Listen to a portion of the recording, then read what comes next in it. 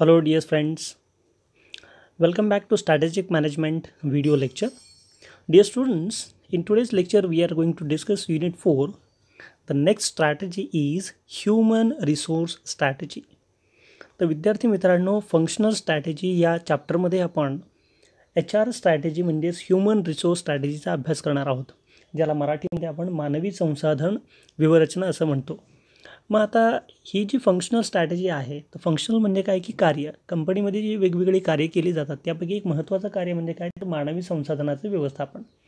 कारण कंपनी हे व्यूहरचनात्मक व्यवस्थापनामध्ये सर्वात महत्त्वाची जी गोष्ट आहे ती म्हणजे काय? तर मानवी संसाधनाचं व्यवस्थापन.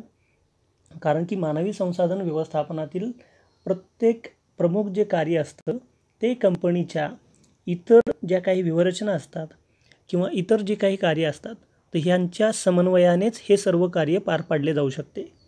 म्हणजेच काय? की जेव्हा आपल्याला आपल्या कंपनीमध्ये विविध प्रकारची कामं करायची असतात तेव्हा ही कामं करण्यासाठी आपल्याला आपल्या कंपनीमध्ये सर्वात महत्त्वाचा जो घटक आहे किंवा मौल्यवान जो घटक आहे तर या घटकाला आपण काय म्हणतो? तर आपलं ह्युमन रिसोर्स ज्याला आपण मराठीमध्ये काय म्हणतो? मानवी संसाधन. आता हे जे आहे तर एच आर स्ट्रॅटेजी म्हणजे नक्की काय? नेमकं काय याचा अर्थ आहे? तर लक्षात घ्या या ठिकाणी ह्युमन रिसोर्स जे काही आहे तर एच आर स्ट्रॅटेजी म्हणजे काय? की ही स्ट्रॅटेजी अशी स्ट्रॅटेजी आहे जी कंपनीतल्या सगळ्यात महत्त्वाच्या घटकाशी याचा संबंध येतो. आता तो सगळ्यात महत्त्वाचा घटक म्हणजे काय? तर याला असं म्हटलं जातं की ती कंपनी ही माणसांनी उभी केलेली आहे. म्हणजेच the people who decide the organisation strategy and carry out its various functions and implement them म्हणजेच कंपनी जी आहे ती कंपनी जी लोकं चालवतात आणि ह्या कंपनीच्या विविध ज्या लोक व्यूहरचना बनवत असतात आणि त्या अंमलात आणत असतात अशा लोकांच्यासाठी बनवलेली जी व्यूहरचना आहे या व्यूहरचनेला आपण मानवी संसाधन व्यूहरचना असं म्हणतो. म्हणजेच काय की जेव्हा आपल्याला एखादं व्यूहरचनात्मक एखादं ध्येय साध्य करायचं असेल तेव्हा आपल्याकडे असणारं जे काही मनुष्यबळ आहे मानवी संसाधन आहे तर हे अतिशय महत्त्वाची भूमिका त्या ठिकाणी पार पाडत असतं. आणि म्हणून आज आपण या ठिकाणी ह्युमन रिसोर्स हे जे काही आपलं आहे स्ट्रॅटेजी तर ह्याचा आपण या ठिकाणी अभ्यास करत आहोत. आता ह्युमन रिसोर्स स्ट्रॅटेजीमध्ये दुसरा जो महत्त्वाचा घटक येतो तो म्हणजे काय? की आपल्याकडे जी माणसं आपल्याला कंपनीमध्ये लागणार आहेत तर ही माणसं आपण आणायची कुठून? म्हणजेच काय? की मानवी संसाधनाचं संपादन कसं करायचं?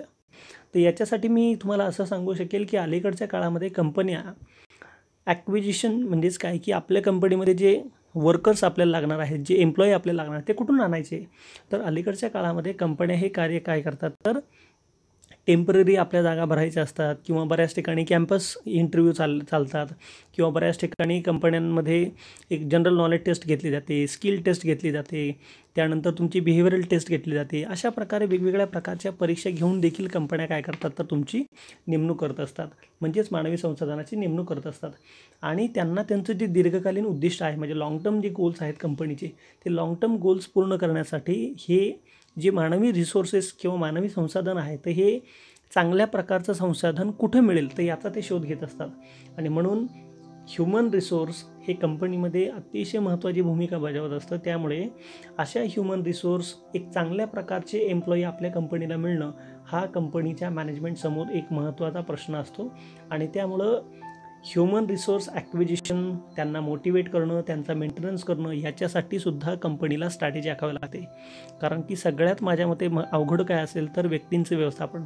कारण की प्रत्येक व्यक्ती वेगळी असते त्याचा स्वभाव वेगळा असतो त्याचे हावभाव वेगळे असतात.